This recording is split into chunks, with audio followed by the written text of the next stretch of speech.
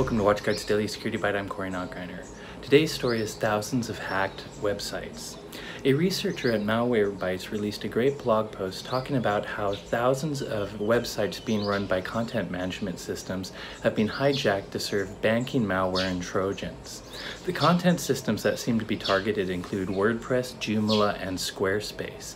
Basically, if you're running an older version of the content management system, it seems like the attackers can inject code into your website. But what's interesting about this campaign is how advanced it is and how much it uses to obfuscate its attack.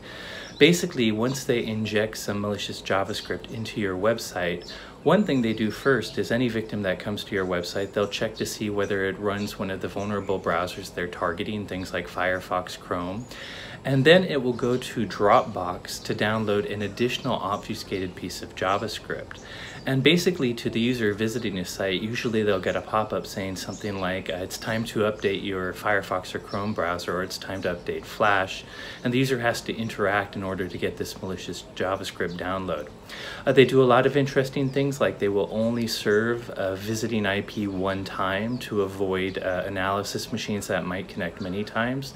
They also do things like check for sandboxes or virtual machines to try to avoid research machines. And finally, uh, when the malicious obfuscated JavaScript does download an executable payload, that payload actually has a valid digital signature uh, for the malware it's running. And again, it seems to install a banking Trojan and or some other kind of Trojan.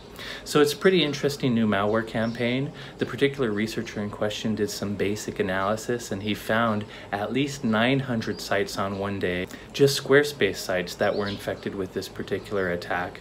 And he actually estimates well over a thousand have been infected. In any case, I'll post a link to the blog uh, showing you this blog post if you want more details about it. That's it for today's news. Thanks for watching.